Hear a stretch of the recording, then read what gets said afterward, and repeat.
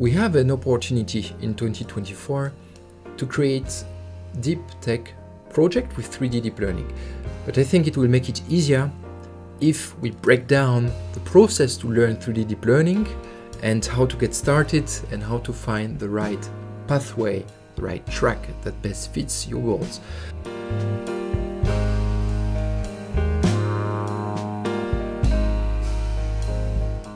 The first stage is basically identifying why we should learn 3D deep learning. What is the impact of 3D deep learning? And here I selected four main elements. The first one is in medical and healthcare.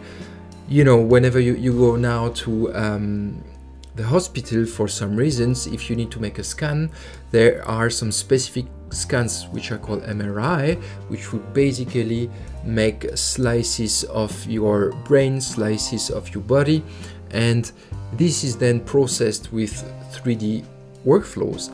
And having the ability to inject 3D deep learning there means that you may be able to develop some kind of higher accuracy detecting algorithm that will spot say cancer early on or, or help like the doctor make a better prediction about the health status or the health diagnosis of a patient, which is very significant. Another network, which will be the second element, will be, for example, if you want to speed up a bit gaming and uh, entertainment industry, you can generate 3D assets that can be used in this environment in a very efficient way. And you can streamline that to have a full pipeline end-to-end, -end, which will just take a text prompt, for example, as an input and spit out your 3D assets that you can inject directly inside of your environment. Another thing that is very cool is for mapping or geospatial professionals. With 3D deep learning, you can speed up various steps that leads to digital twin creation, for example, or 3D reconstruction at large.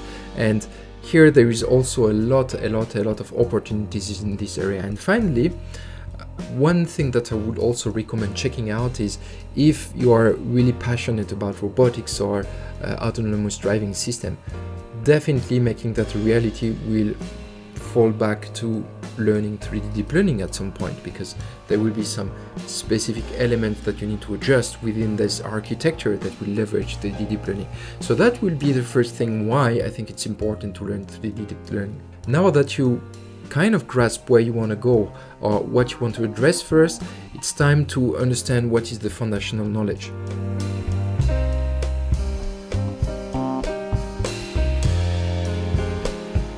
The good news is you do not need to spend 10,000 hours. You can cut down the time to only the essential to try early on your idea. And the essential here are on three main pillars. Mathematics, artificial intelligence, and 3D data expertise. In mathematics, basically, you want to make sure that you perfectly grasp geometry, 3D projections, okay, or reprojection, and trigonometry. Grasping that basically is enough at this stage. Then we'll move on to uh, artificial intelligence and computer science.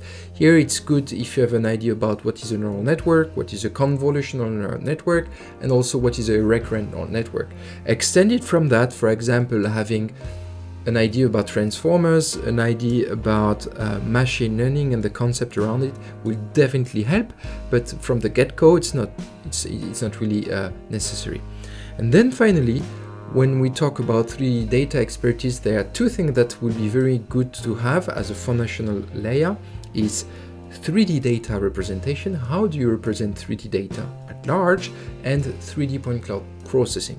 Because this kind of data is canonical and you can attach other ways of representing data directly to it, which is phenomenal.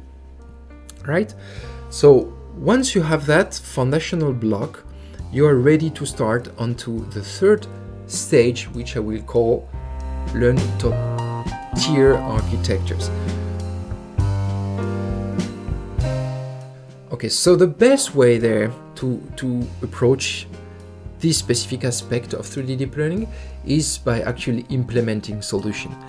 But that will take time and that means that you need some coding knowledge, some Python knowledge at this stage, which is not mandatory for all pathways.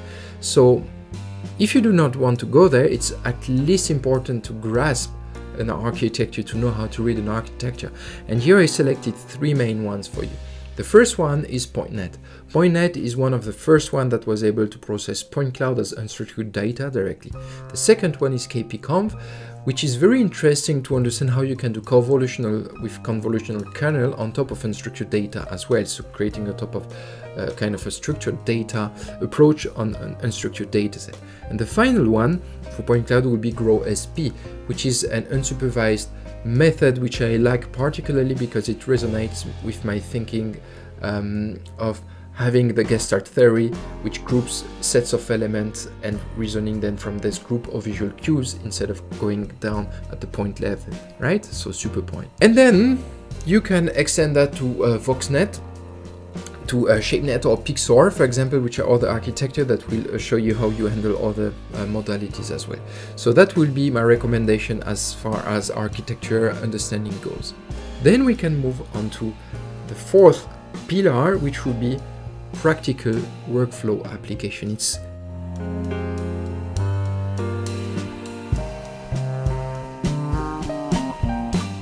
very important to understand the wide applications and within this wide application what are the specific pinpoints in the workflow that deep learning can touch on or 3D deep learning can touch on.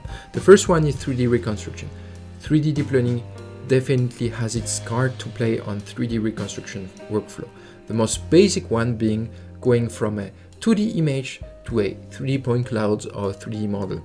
And you will see some application, for example, only extracting depth information from a single point of view using deep learning. The second step there will be registration. So registration, making sure to understand that you want to bring into one specific frame of reference various perspectives. And here you have two like different approach. The, the first one will be uh, having the same platform right? And the same sensor. And the second approach will be multi-sensor registration, which is something else and also complicated and also where 3D deep learning will play a huge part.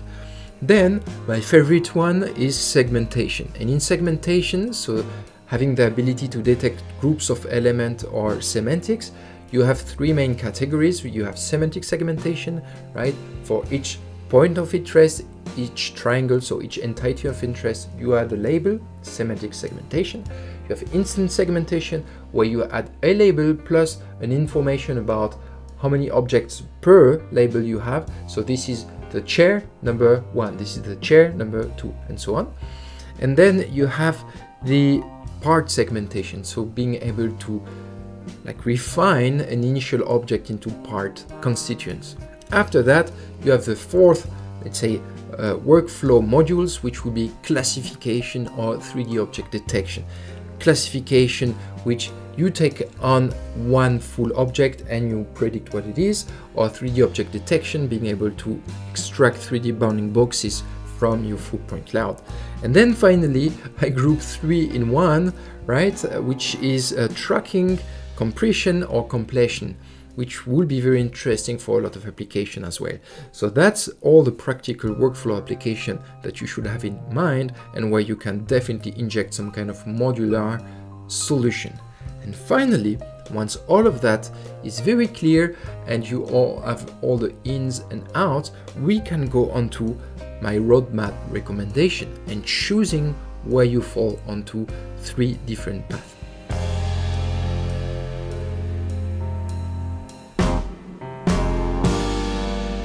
The first path, I call that the hobbyist. Basically, that's where you do not want to dive very, very deep inside of intricacies of 3D deep learning, you just want to be a user.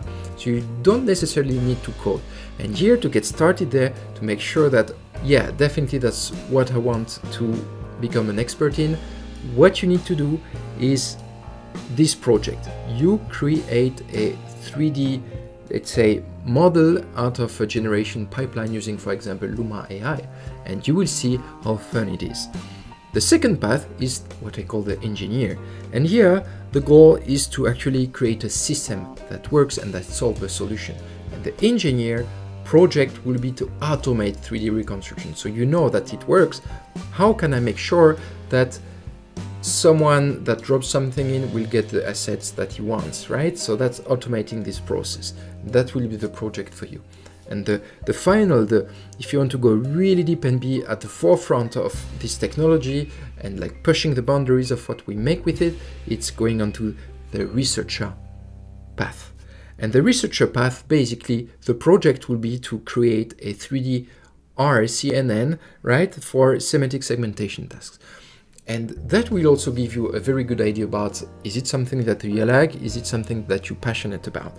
Once all of this is framed, you accomplish your project, I think it will be good to lay low, to either push your little venture and create a product out of it, or to just lay onto a piece of land that you, you acquired, you grow some vegetables, you create wine, and then that's your secret to uh, unlocking freedom right? So joke away. If you want to deep dive there, I have a course which is the 3D deep learning course, where with Jean-Jacques we spent uh, three years of R&D in it, right, full time. So definitely check it out if you want to speed up your growth. In the meantime, I will continue pushing out open content. If you like that, if you like these tutorials, please subscribe to the channel, leave a comment. That will help the algorithm and comment on what you would like to see next. Thanks a lot and see you next time. Bye bye.